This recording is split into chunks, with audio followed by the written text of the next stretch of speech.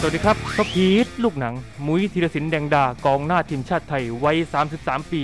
กับชีวิตคาแข้งที่ผ่านมาบนเวทีเจลีกวัน โดยเจ้าตัวทำผลงานยิงไป 7 ประตูกับสีเสื้อซานเฟสเช่ฮิโรชิมา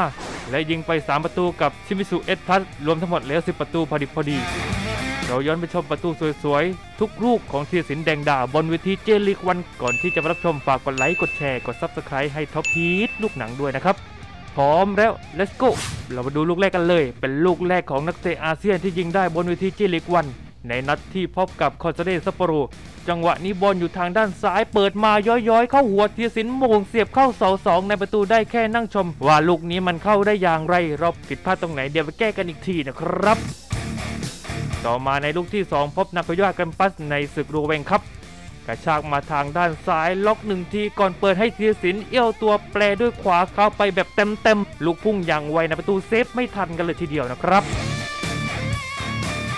ต่อมาในลูกที่ 3 พบกับโยโกฮาม่าเอฟมารินอสจังหวะนี้เพื่อนตักมาให้ย้อยๆ ก่อนเข้าหัว โดนกองหลังกระแทกล้มทั้งยืนลงไปนอนกองก่อนกรรมการเป่าเป็นจุดโทษนะครับ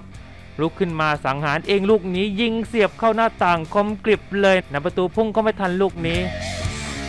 ต่อมาลูกที่ 4 พบกับนากาซากิ ถูกเปลี่ยนลงมาในครึ่งหลัง ก็ไม่รอช้าเพื่อนเปิดเข้ามาให้ลูกนี้อย่างสวย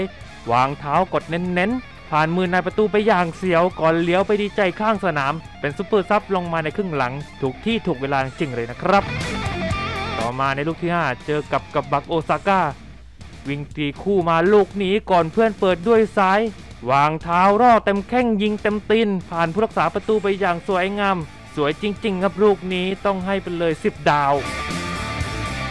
ต่อมาในลูกที่ 6 พบกับนากาซากิ จังหวะบอลลูกนี้สวยมากต่อบอลกับเพื่อน 2 คนก่อนหลุดมาลูกนี้ ชิปข้ามนายประตูไปอย่างเนื้อเนื้อนายประตูได้แต่นั่งคุกเข่าอ้อนวอนขอร้องอย่าให้เธอไปไหนกันเลยทีเดียวนะครับค็อกเทลก็มา ต่อมาในลูกที่ 7 นัดพบกับอิวาตะ จังหวะเตะ corner ลูกนี้เข้ามา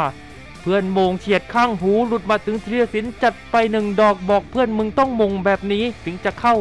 ไอซาโชว์เหนือเลยลูกนี้นะครับสุดยอดจริง ๆ ต่อมาในลูกที่ 8 กับสีเสื้อของชิมิสุเอสพลัสนัดที่เจอกับ FC โตเกียว ลูกนี้แทงทะลุมาถึงธีรศิลป์จับบอลก่อนกดด้วยขวาแบบเหนือๆในประตูหลงทางนั่งลุกไม่ขึ้น ได้แต่เลี้ยวมองลูกเข้าไปในประตูนะครับ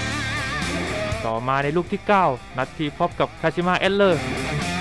เพื่อนปาดมาให้จับหนึ่งทีก่อนพลิกหวดด้วยขวาไปแบบสวยๆ เนียนๆ ลูกนี้กันเลยทีเดียวนายประตูบอกโอ้พระเจ้า นายทำได้ยังไงคนไทย